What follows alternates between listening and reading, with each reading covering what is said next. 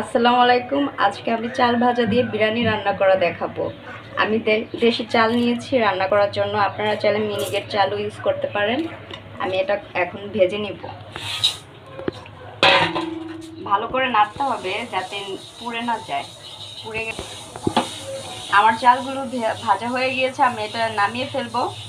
নামিয়ে ফেলে কিছুক্ষণ পানিতে ভিজিয়ে রাখব।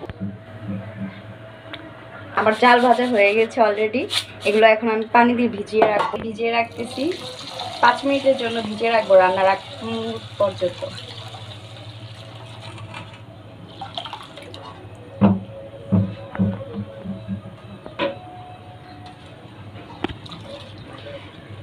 ভিজে রাখতে হবে কিছুক্ষণ, পাঁচ মিনিট। পাঁচ মিনিট পর আমি এটা ঝরা দিব। ঝরা দিয়ে তারপর রান্না করব। আমি চালের বিরিয়ানির জন্য, চাল ভাজার বিরিয়ানির জন্য মাংসটা মিক্স করে নিব মশলা দিয়ে। প্রথমে লবণ দিচ্ছি।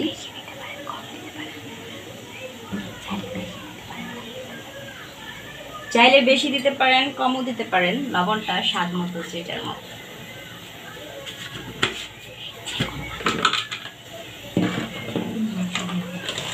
তারপর দিয়ে দিচ্ছি হলুদ গুঁড়া। হলুদ গুঁড়াটা একটু কম দিতে হবে, যেহেতু এটা বিরিয়ানি রান্না করতেছি, হাফ চামচ।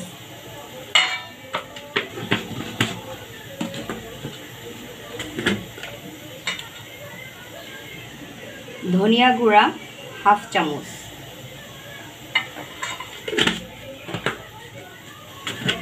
মরিচ গুঁড়া, হাফ চামচ।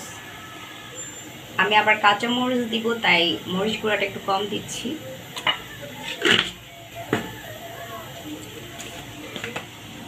গরম মশলা গুঁড়া, হাফ চামচ।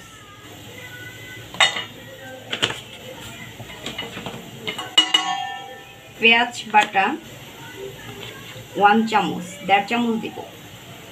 ওয়ান চামচ দিলাম আর দেড় চামচ।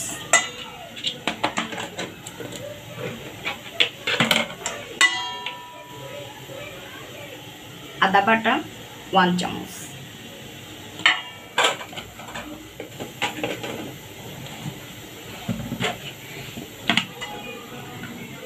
রসুন বাটা, ওয়ান চামচ।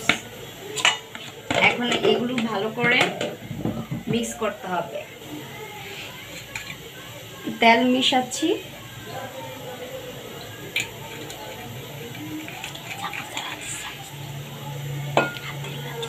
তেল মিশিয়ে ভালো করে এটা মিক্স করে নিতে হবে। আপনারা চামচ দিয়ে মিক্স করে নিতে পারেন। হাত দিয়ে মিক্স করাটা ভালো হয় বেটার হয় হাত দিয়ে। মেখে নিলে। আমি চামচটা ইউজ করতেছি, চামচ দিয়ে মেখে নিচ্ছি। এভাবে ভালো করে মেখে রেখে দিবেন পাঁচ মিনিটের মতো।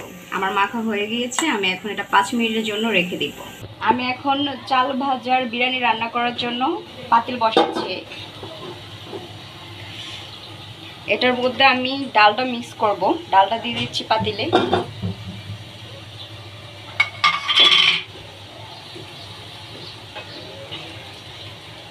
এখন আবার একটু তেল দিয়ে দিচ্ছি।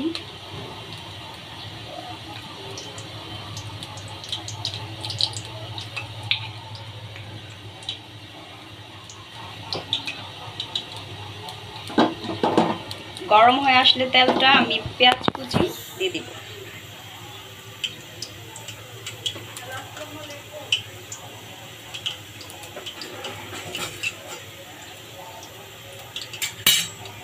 তেলটা গরম হয়ে গিয়েছে, আমি পেঁয়াজ কুচি দিয়ে দিচ্ছি।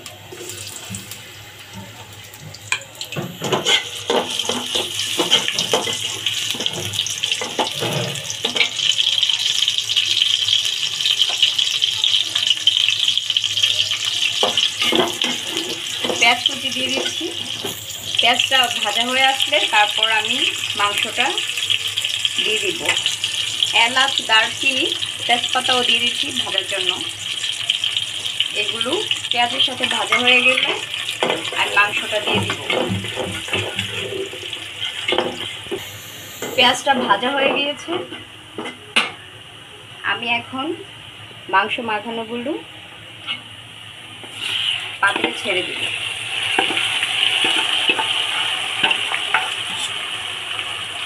ভালো করে নাড়তে হবে।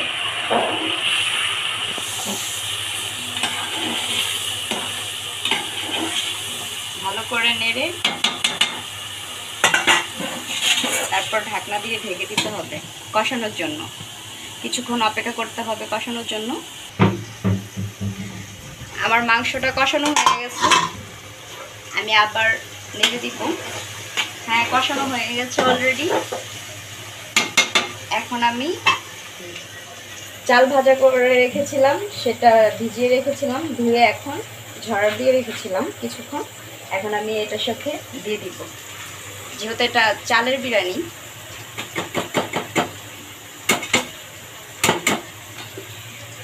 এখন আবার নেড়ে দিতে হবে।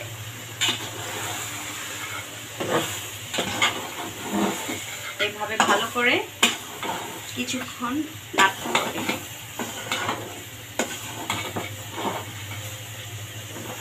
হয়ে গেছে। আমার চাল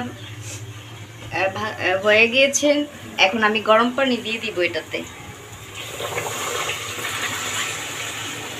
পরিমাণ মতো পানি দিতে হবে। বেশি পানি দিলে আবার লুটলুটে হয়ে যাবে। তখন আবার খেতে ভালো লাগবে না। একটু ঝরঝরা থাকলে খেতে ভালো লাগবে। এভাবে কিছুক্ষণ নেড়ে এখন আমি ঢেকে দিব।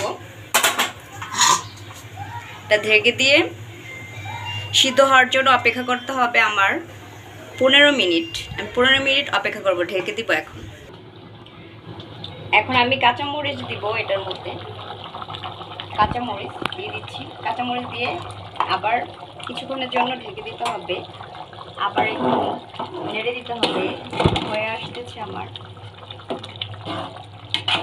কিছুক্ষণ এভাবে আবার রেখে দিতে হবে। আমার বিরিয়ানিটা হয়ে এসেছে আবার একটু নেড়ে দিই।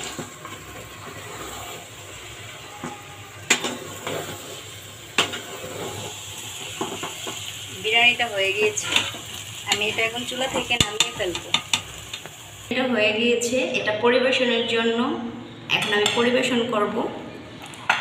এটা আপনার আচার, সালাদ যে কোনো কিছু দিয়ে খেতে ভালো লাগবে। আপনারা বাসায় রান্না করে খেয়ে টেস্ট করতে পারেন। এটা আমার কাছে ভালো লেগেছে, তাই আপনাদেরকে দেখালাম সে উদ্দেশ্যে। আমার রান্নার, আমার সারাবেলা চ্যানেলটি যদি আপনাদের ভালো লেগে থাকে, তাহলে প্লিজ লাইক কমেন্ট শেয়ার এবং সাবস্ক্রাইব করবেন।